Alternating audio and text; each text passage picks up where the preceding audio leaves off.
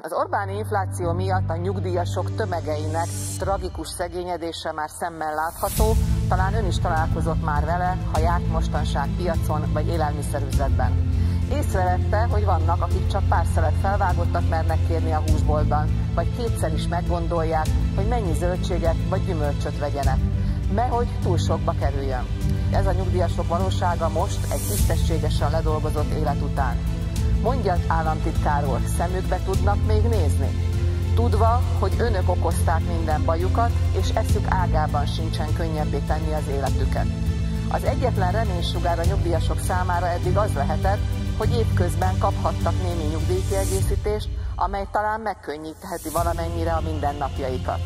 Ezt a reményt törte össze nem olyan régen Gurács Gergely az egyik kormányinfon, amikor megemlítette, hogy idén novemberig alig ha várható újabb nyugdíjkorrekció.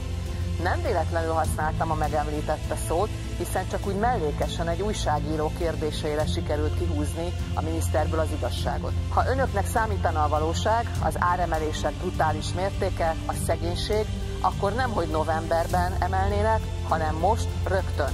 Hiszen bármi is lesz a helyzet egy fél év múlva, az idősek most vannak megszorulva, most éheznek, most nem tudnak gyógyszert venni, most kell számolgatni a forintjukat, most azonnal van szükségük a nyugdíjemelésre, nem novemberben, vagy ki tudja mikor.